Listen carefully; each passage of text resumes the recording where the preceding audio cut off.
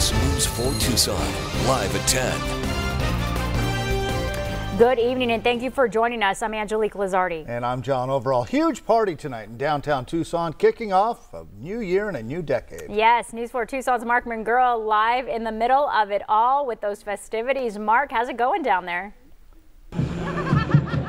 Hey guys, it's going good. Uh, as you can see behind me, people are ready for, to bring the new year in. Two hours away from the end of the year, two hours away from a new decade. Now, earlier we were able to catch up with a few people here.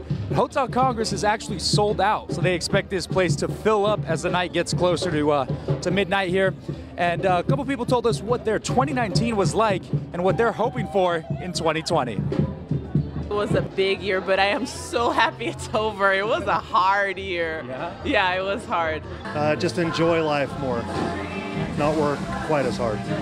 I'm really excited to share a kiss with my new fiance. Um, we just got engaged here, and that was really amazing to be able to ask her to marry me on stage.